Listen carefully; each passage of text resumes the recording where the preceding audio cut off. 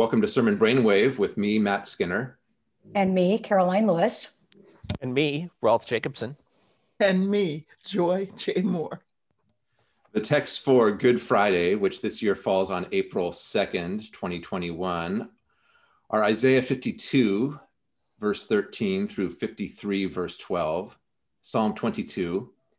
There are two options for the second reading, both from the book of Hebrews, either chapter 10, verses 16 through 25, or chapter 4, verses 14 through 16, and then resuming at chapter 5, 7 through 9. And the gospel text is from the gospel according to John, two chapters 18 and 19. Before we get started, we should point out this is podcast number 777 of Sermon Brainwave. Wow. Numerologists out there are welcome to tell us what that means, but for me, it's maybe a chance to say thank you to everybody who listens and also thank you to the three of you who teach me things every week.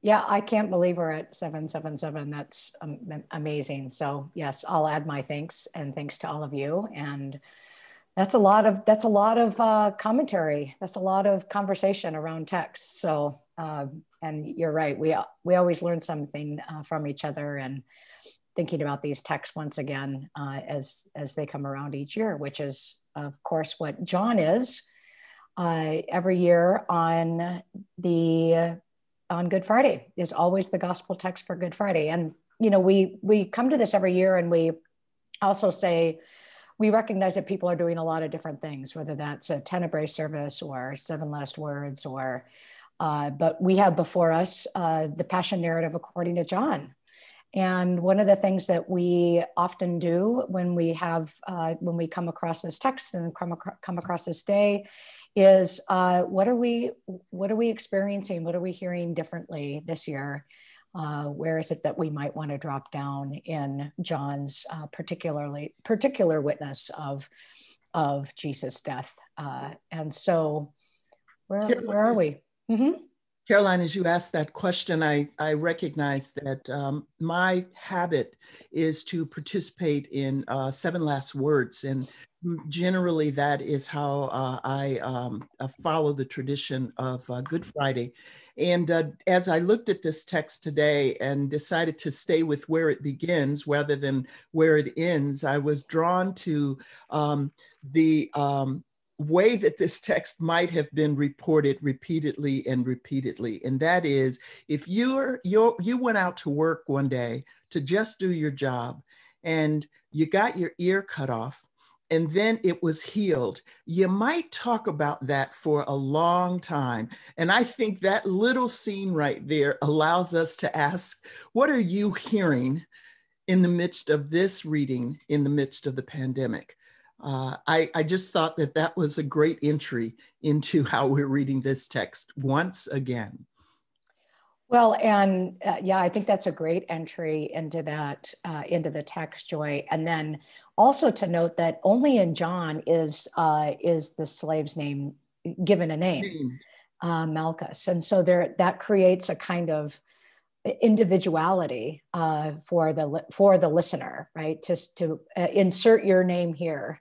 not that I want people to feel like they're got their ear cut off. Not that's not where I'm going, but but insert your name here, uh, and that's one of the effects of of that particularity of of naming him uh, is is oh, and it you know there's all kinds of resonances then with naming in the gospel of john and you could you could go that direction with the you know i know my sheep by name and and that kind of thing. But uh but yeah it it it there's a second person uh, second person singular here uh, with regard to your own witness to what you what you see and what you will hear uh, this this time around It reminds me of the, the whole theme of bearing witness. Uh, Malchus is a witness. He was not somebody who went into that, went to work that day, or you know, went, went was went to the Kidron Valley expecting this to happen. He might not have been even sympathetic to Jesus at all, but he's got a story to tell, and and who knows he even becomes a Christ follower afterwards or not. We simply know nothing about him, but he forever stands as a witness to this event, just as others will uh, in failed ways with Peter. uh, with uh, with the, the beloved disciple and with the mother of Jesus at the cross. So I'm not really picking one detail, one one verse or one thing, but I am thinking about the way in which this is a story that comes to us through witnesses, some who are there out of their devotion, some who are there by chance or without choice, uh, and but none of them probably realize the full extent of what they are bearing witness to. That's a theme we'll come back to on Easter. I know with with Mark 16, with John 20, with Acts 10.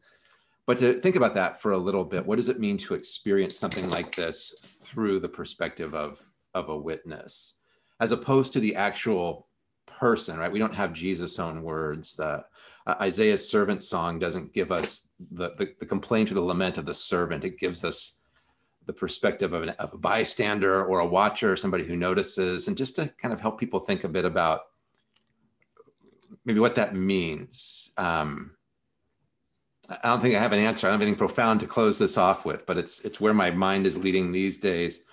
Probably because so many of us are bearing witness to violence in our world in new ways, in more close-up ways, in intense ways, um, and and trying to figure out how do you speak faithfully for the victims of violence, but also how do you not let an event go by and just be a watcher or an observer from a distance, but to, to recognize that, that we are engaged in the significance of this event.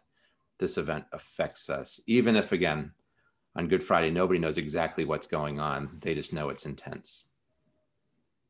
Yeah, and there's also a, a you know, I, I spoke about the individuality with Malchus, and you have those individuals who are named, as you said, Matt, with Peter and with Mary Magdalene and, and with Mary and the beloved disciple, and they're all uh, the, the ways in which they are they're witnessing these events. But there's also an, uh, an extraordinary universality here as well, uh, that the whole world is witnessing this, uh, that you get in the arrest with Judas bringing a detachment of soldiers. That's a Roman term for these are Roman soldiers and then um, together with police from the chief priests and Pharisees. So you have the you know the Roman uh, contingent, you have the Jewish contingent, uh, and then you have the the translation over Jesus' uh, head. Uh, in Latin, Greek, and Hebrew of King of the Jews. And so we're reminded here in the Passion narrative, which is so a critical theme in John, that this is this is this is directed to the entire world. How will the world respond uh, to to what they witness.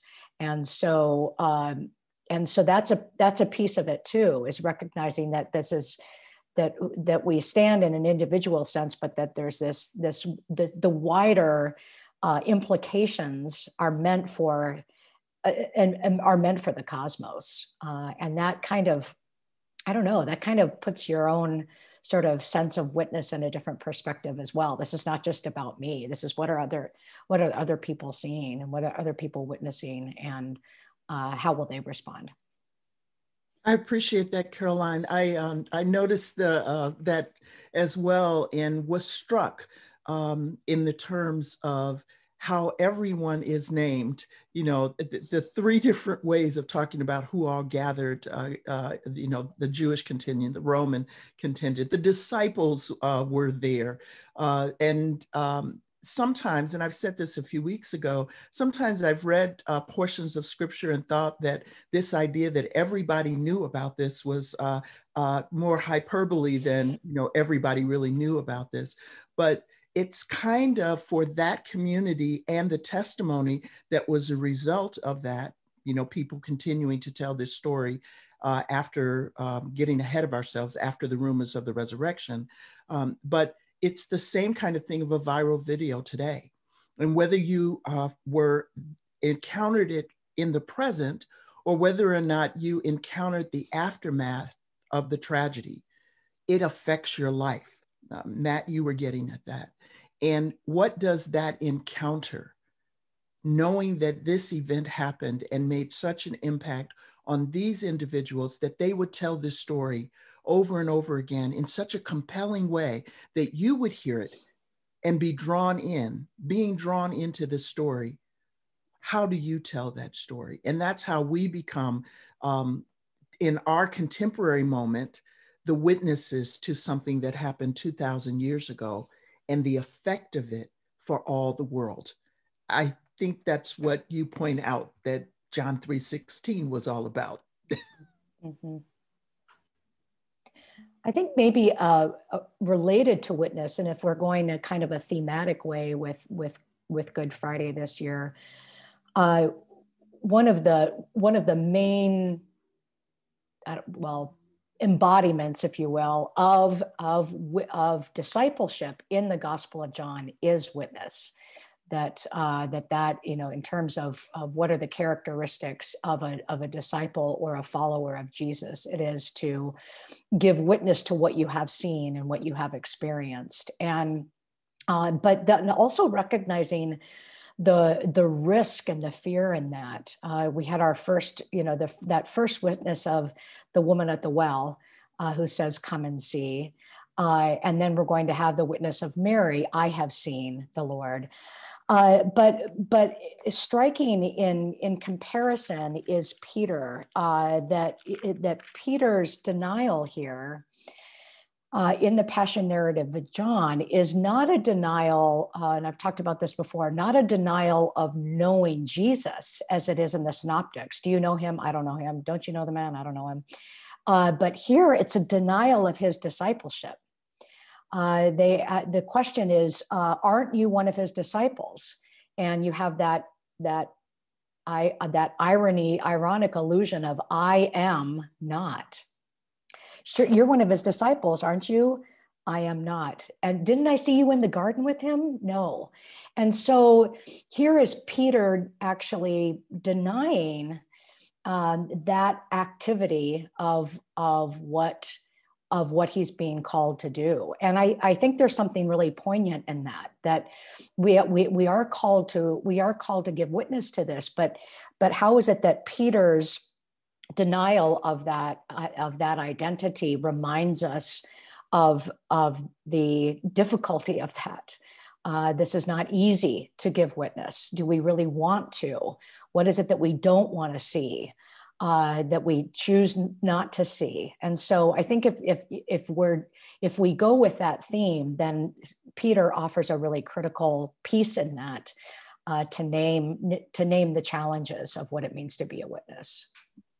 I, I like that and it makes me think to go all the way back uh, or go all the way forward uh, to Joseph of Arimathea and his witness you know, it, it says, who was a disciple of Jesus. His witness was not what he said, but it was his what he did.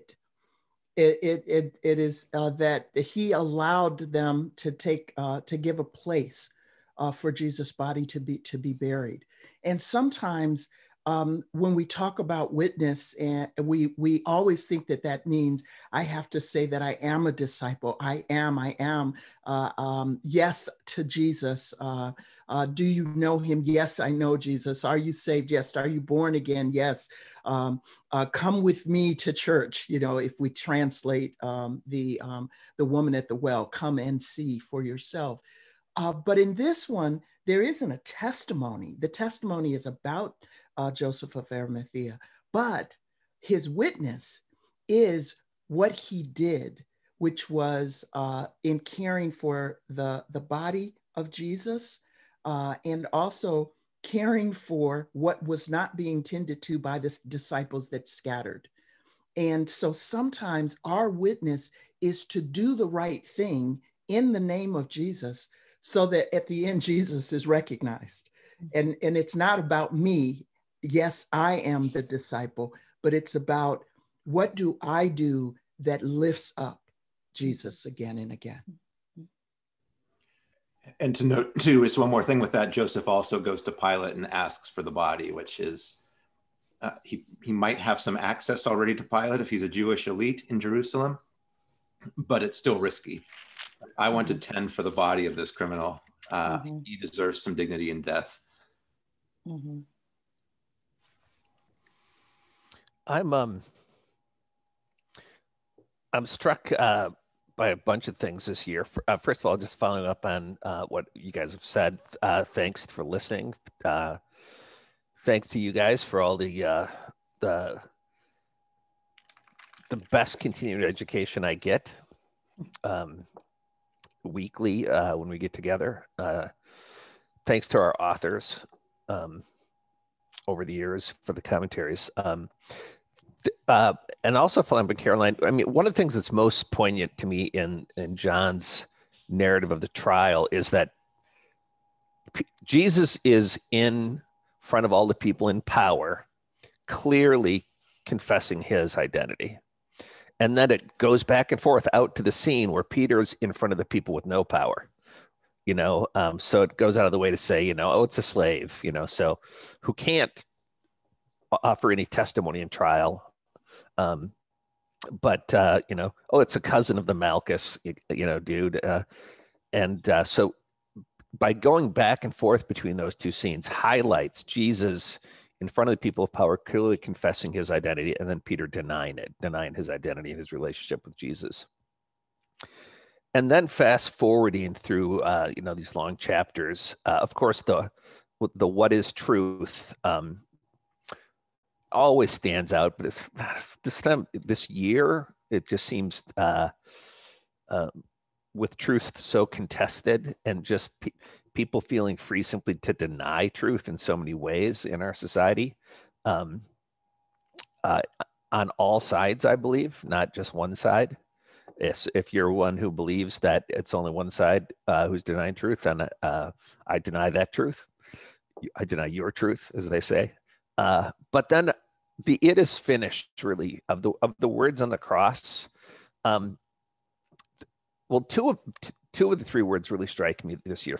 Uh, first is "it is finished." Uh, how that can be such good news uh, in, in sometimes, you know. Um, and boy, just when we are when we're finally going to get that it is finished whether you're vaccinated it's finished you're the pandemic is finished it's you know our quarantine all that stuff that's going to be such good news um and of course it's bad news you know uh so uh oftentimes you know um whether it's the death of someone a loved one or the end of a relationship the end of something uh, it, and so it's got obviously it, has got both those aspects when Jesus says it. It's it's his death, but it's when he had drank, right? Um, and earlier he says, you know, uh, to the Malchus incident, you know, am I not?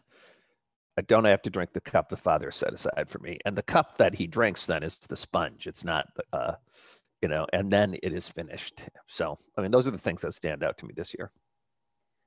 Well, and two, thanks for that, Rolf. And and two, with the with, of course, that's a distinctive word from the cross in John of it is finished or it has been completed or everything has been brought to its intended goal, and it's uh, in perfect tense. And so there's one of the things that I was thinking about when you were mentioning that is that it, it there is a there's residual in in what has what we've witnessed. And i've i've been working a lot um, i'm on sabbatical and uh, in the book i'm working on, i've been doing a lot of work with trauma and and how trauma becomes a lens through which to read scripture. And that that that moment of that perfect tense is like what remains?